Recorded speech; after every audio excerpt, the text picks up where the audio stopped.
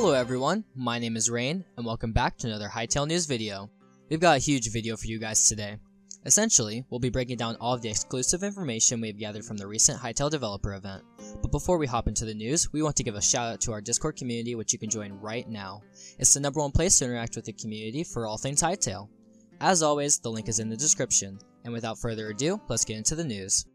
Starting off yesterday, Hytale game developers Chris Thurston and Sean McCafferty hosted a developer conference at EGX. Here, they show us the origins of how Hytale came to be, as well as some never-before-seen screenshots, the game coming to multiple platforms, and even a teaser trailer for Zone 3 at the end. The first thing we'd love to show you guys is this early version of Hytale. As we can see, we have an adventurer wielding a stone sword.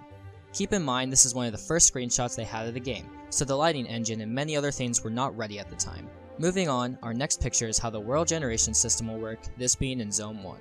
Here's a picture for you now, showing a dense forest to our right as well as a cave generated straight through the mountain in front of us. Our next screenshot of Zone 1 gives you the view of the landscape from the edge of a forest, revealing a valley and a wide mountain range in the back. And finally, here's the most recent screenshot of Zone 1. Although the image is in low quality, we can find detailed particles and a shading system working together to bring the place alive. Furthermore, we can catch the fogged image of a tower in the background. Be ready to conquer some dungeons, adventurers. Just a quick reminder, this game will be easily runnable on almost any machine. It's incredible how they have managed to do this. Moving on to Zone 2, we are shown this beautiful screenshot. We can see the World Gen system really coming together, creating a very rocky landscape bordered on the right by what seems to be a savanna-like biome. This zone is a complete contrast to Zone 1. Since this was the only real information we gathered regarding Zone 2, we will be moving on to Zone 3. For our first image, we are shown a spatial forest. Here, we can notice the familiar tall trees as well as the beautiful hilly landscape. Here's where it gets exciting. Next, we have our first look at how multiplayer will look in Hytale. Here's an early shot of the functional networking in Hytale. Here, we can see our first look at the name tags in the game. Of course, we all pity Rezes in the corner. Come join in on the fun. Next, we are shown Hytale's Model Maker in action, this time with a never-before-seen creature, a rooster. Finally, we are shown another multiplayer scene in the game, consisting of everyone's favorite, the cinema. This time, however, we are shown a video of a cat instead of a dog, which is definitely the most important part. Additionally, another one of the greatest and rather memorable parts of the conference was when Chris Thurston ended his presentation, stating, There is no reason for this slide. I like the pigeon. Unfortunately, nobody laughed at this cheeky joke, in which we've concluded that the audience doesn't have the best sense of humor. That's pretty lame if you ask me. Now moving on to our next segment of the event, we are shown Hytale Today. Basically, the developers cover all of the major subjects that were brought up in the blog post. Although, before we get into the Q&A session, we are shown a teaser trailer of Zone 3 in Hytale. Take a look.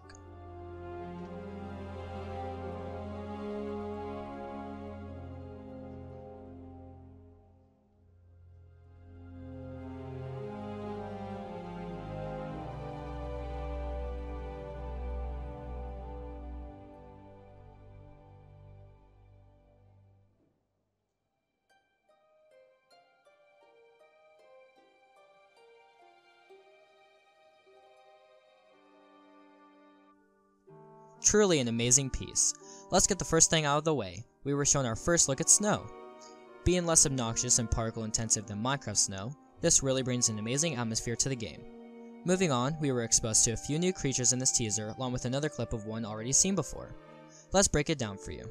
In the first scene, we witness a wolf lying in the snow, its pelt slowly rising and falling as it's sleeping.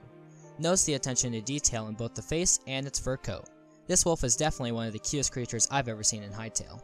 Our next animal is the polar bear, placing himself precariously on top of the rock, possibly waiting for the sign of movement in the river where fish may lurk.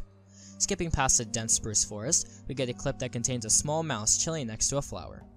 And in the final clip of the teaser, we are shown our first look at a beautiful white snow owl. Its large beady eyes will definitely put you in a trance to follow this creature wherever you go. To finish off the video, we will discuss the Q&A that was at the end of the EGX event. During this segment, someone asks, will Hytale come out only to PC or other consoles as well? Sean responds with, we are focused on PC and Mac at the moment. However, we will most likely be pursuing multiple platforms sooner rather than later. All of our console friends out there, you heard it here first. Hytale will eventually be coming to multiple platforms, meaning you won't be forced to dish out a large sum of money to actually play the game when it fully releases. That concludes the breakdown, and I hope you guys enjoyed it. What was your favorite part of the event?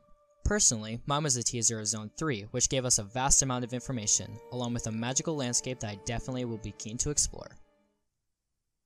But anyways, now it's time to thank you all for watching today's news video. It truly means a lot to us. You, the community, is what drives us every day to continue to bring you the most recent and relevant news from Hytale.